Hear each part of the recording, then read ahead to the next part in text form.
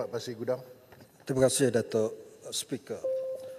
Uh, apa pandangan yang amat berhormat Perdana Menteri jika saya ada cadangan iaitu ahli lembaga pengarah GLIC dan GLC ahli lembaga pengarah ini yang bebas dan independen dipilih daripada golongan profesional dari private sector yang berintegriti dan tidak lagi mengamalkan lantikan uh, ahli-ahli politik ataupun pegawai-pegawai kerajaan yang masih bertugas ataupun yang telah bersara.